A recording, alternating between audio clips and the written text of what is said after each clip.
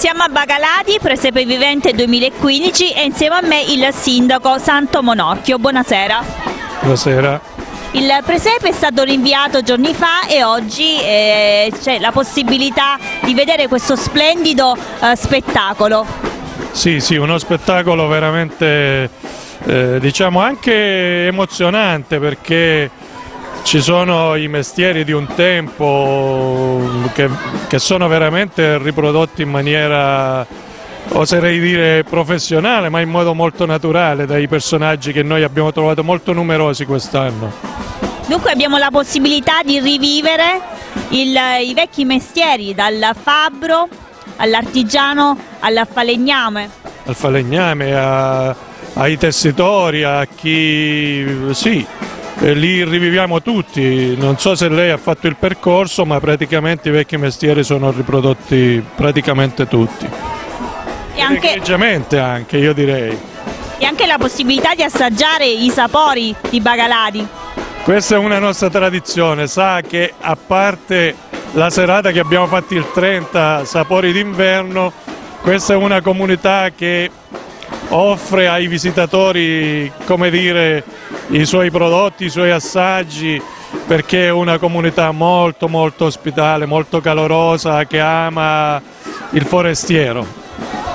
Con, eh, la, con il presepe vivente c'è anche la possibilità di eh, rivivere non solo le magiche atmosfere del, del paese di Bagalati ma anche di poter visitare il borgo. Sì, certamente, questa sera l'attrazione principale è chiaro è il percorso del presepe, però io spero che i visitatori che vengono dall'esterno non tralasceranno di andare a vedere il monumento del Gaggini che è qui nella nostra chiesa, che è un monumento importante, un monumento che bisogna conoscere, eh, visitare diciamo, è importante. Poi c'è anche Palazzo Mesiane dove c'è una mostra fotografica abbastanza interessante. È una macchina organizzativa che dura da un bel po' di tempo per poter eh, far sì che, sia, eh, che venga alla luce il presepe vivente. Una macchina che un pochino si era arrugginita nel tempo, ma quest'anno pensiamo di averla rimessa veramente in esercizio, è una macchina che ha funzionato perfettamente come voi avete modo di osservare. La novità di quest'anno rispetto agli scorsi?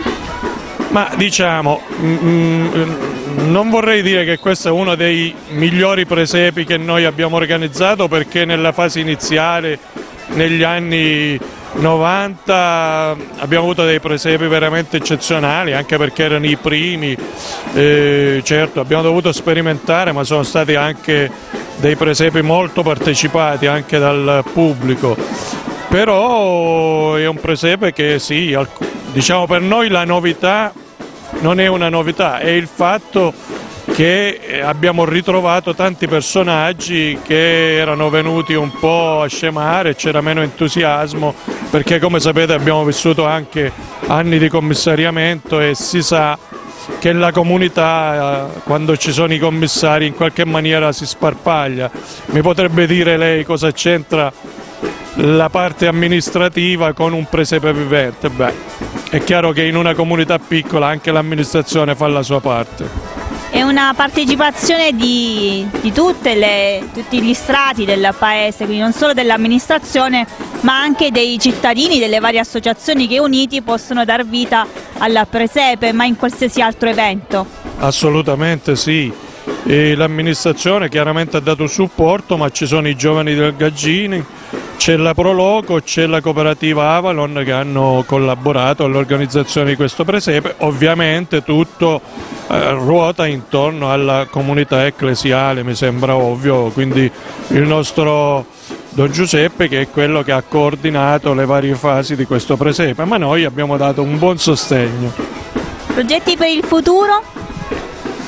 Ma progetti per il futuro, come avete visto abbiamo fatto un dicembre interessante qui a Bagalati per quanto riguarda le manifestazioni che servono a riunire la comunità. Ora abbiamo da fare una buona amministrazione per fare in modo che questo borgo continui a esistere e in qualche maniera trattenga i suoi giovani, quindi non solo manifestazioni ma anche buona amministrazione, speriamo. In bocca al lupo, complimenti, grazie. Grazie, grazie per i servizi che ci state eh, riservando, che ci consentono di essere eh, anche di dare in un periodo così difficile una testimonianza che anche nelle comunità piccole e interne eh, eh, ancora c'è possibilità di fare eh, vivere bene le comunità, di fare come dire, economia, di trattenere la gente, insomma di lottare contro lo spopolamento che è il nemico principale di queste nostre realtà, soprattutto lo spopolamento dei giovani che vanno via. Grazie. Grazie a voi.